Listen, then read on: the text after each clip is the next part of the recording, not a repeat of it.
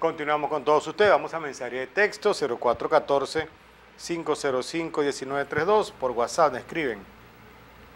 Buenos días, Gerardo. Aquí en la Piedad Norte no se nos va la luz hasta por se nos va la luz hasta por cinco horas y el urbanismo al lado de la invasión no se les va. ¿Y cuál, y cuál urbanismo es ese, vale?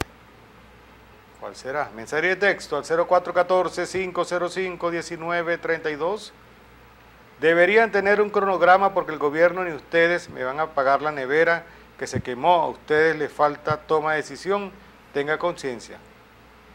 Fíjate que, con respecto al tema del, del, del, porque hay unos sectores que se van, otros no. Ciertamente aquí hay, nosotros emplazamos a quienes de alguna manera ejercen funciones de legisladores. Hay que investigar por qué a unos sectores se les va más, porque otros son privilegiados.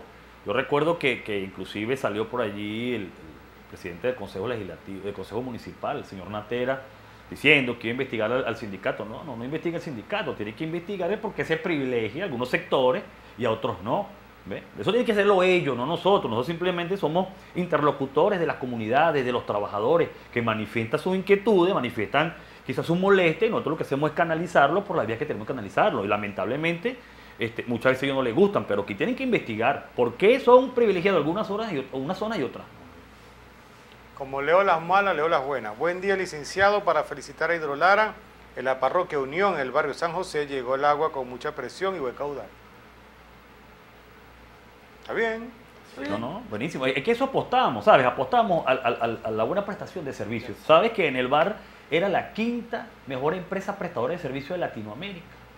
Ahora pregúntale ahora, haz una encuesta pública acá en tu programa y le dices al, usuario que vote si está satisfecho con el servicio que le está prestando hoy Corporal Lara. Ahora con apagones de 5 a 6 horas todos los días, inclusive en sectores que se va la luz dos veces al día, ¿será que nos vamos a poner como en el estado Zulia? Mira, este, Gerardo, ayer este casualidad estaba en la parte del oeste y en la zona, en la Clofre Andrade, José Gregorio Hernández, este, la el sector, ese gran sector, un bloque, salió más de 5 horas. Es lamentable, de verdad. Eh, todo eso es lo que le hacen a la parte del oeste. Deberían tomar en cuenta, bueno, a esas familias que llegan de su trabajo y no consiguen el servicio como tienen que conseguirlo, lamentablemente. Así es. Licenciado, y fíjate que, hay algo todavía más preocupante.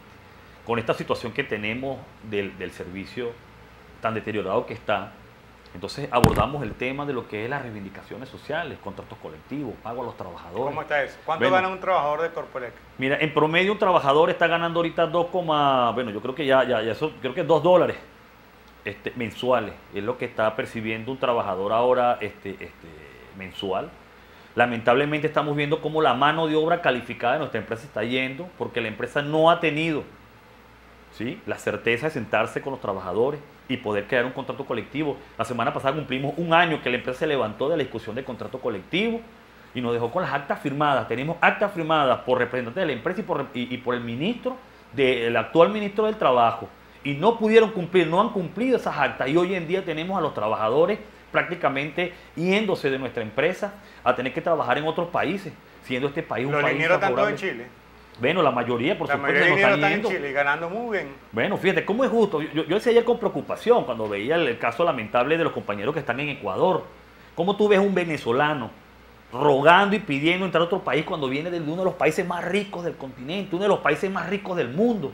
No se justifica como hoy en día un trabajador eléctrico, un trabajador primordial en cualquier sociedad, tener que irse de aquí, porque aquí lamentablemente estamos en condiciones de indigencia. Lamentablemente esta gente que está dirigiendo hoy la empresa están dejando que estos trabajadores se vayan. Para formar un trabajador, un liniero, un despachador de carga, tiene que pasar entre 3 y 5 años.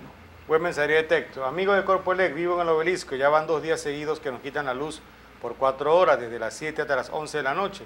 ¿quién me paga los artículos que se me quemaron? Sí, fíjate que, hubo un momento donde, donde inclusive el gobierno este, este, nacional había manifestado que iba a hacerle seguimiento a esos casos para reemplazarle al, ciudadano sus equipos dañados. Pues eso no, estamos esperando por eso. Sí, aquí, en Lara, aquí, en Lara, disculpa, eh, cuando en el bar había un departamento que se encargaba de, daños a terceros Y bueno, aquí lamentablemente no existe, pues no hay quien responda a la colectividad sobre ese tipo de, de, fallas. Al parecer quien administra la parte eléctrica en Lara odia el obelisco, nos quita la luz hasta cinco veces a la semana y son cortes de cuatro horas. O sea que la cosa, la gente del obelisco está... Ese es uno de los bloques que le dan bastante fuerte. ¿Sí? Sí ese sector. ¿Ese bloque va de dónde, dónde? Como lo llaman ustedes, bloque. Aproximadamente sale desde la Libertadora hasta la 50, este, la San Vicente aproximadamente, cae ese bloque, hasta Metrópoli pasa el Core 4, bueno, al Core 4 nunca se le va la luz por, por, cuestiones de seguridad. A los invitados, ¿será que ellos tendrán su cronograma hecho para su beneficio? Bueno, o sea, eso quienes tienen que darle respuesta a la población son quienes dirigen la empresa. digo, o sea, aquí tiene que haber una investigación. ¿Ve? Y que ellos, quienes dirigen la empresa, justifiquen el cómo está haciendo el racionamiento. Varias veces han pasado camiones de Corpolec por Barrio Unión y hay un sector que tiene siete postes sin bombillos. Dijeron que los colocaban si les pagaban 20 dólares. bueno, hay que hacer las denuncias. Tienen que hacer las denuncias. E insisto en quienes de alguna manera están, ejercen el cargo de legisladores de esta región, tanto concejales como, como este, miembros del diputado del Consejo Legislativo Investiguen porque para eso los, escogió el pueblo. El pueblo los escogió para que gestionaran, para que defendieran los intereses de esta región, no para que estuvieran este, calentando este, este, asientos en su oficina. Sigo, buen día. A mí se me dañaron la lacto, el teléfono y un microondas. ¿Quién me lo paga? que dirigirse a la empresa. A ver, tienen que insistir, tienen que insistir. Ahí hay un departamento. Pero hay un departamento. debería existir un departamento aquí en, el Estado Lara ahí en la URE puede llegar, es un departamento que atiende a la, a, la, a la, colectividad y podrían, podrían este, como tener suerte, pues que por lo menos le, le acepten una tener suerte. Sí, tener suerte. Porque en eso quedamos. Es cuestión de suerte aquí.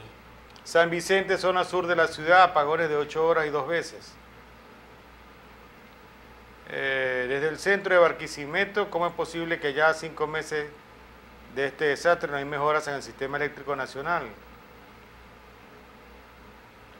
Mm.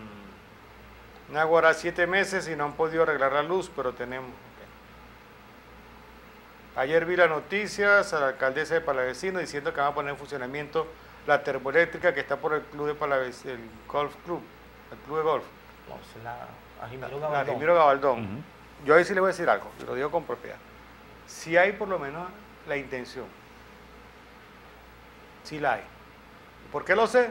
Porque un amigo lo llamaron para ver si lo podían contratar. Por lo menos la intención la hay. Que de ahí, que los señores no empreñan, pero que de ahí que la resuelvan. Bueno, yo, te iba a decir. Pero yo te voy una cosa.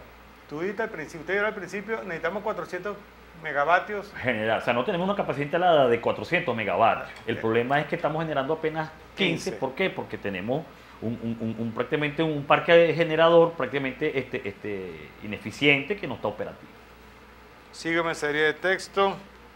Gerardo, pregúntale a tus invitados quién decide a qué hora se debe aplicar el racionamiento. Lo digo porque se han incrementado los robos en la noche. Nos cortaron de 6.30 a 11. Ah, mira, los robos en Fundalara. Ella va. Es que la pregunta es esa. O sea, fue la pregunta yo le dice, ¿quién decide a, quién le cortan la luz? A Gabo le tienen aplicada, en el macrosector del cercado. Ah, pues sí, lo dicen hasta Sí, pero fíjate que, quiero hacer mucho énfasis en, el tema que tocaste de que los deseos no preñan.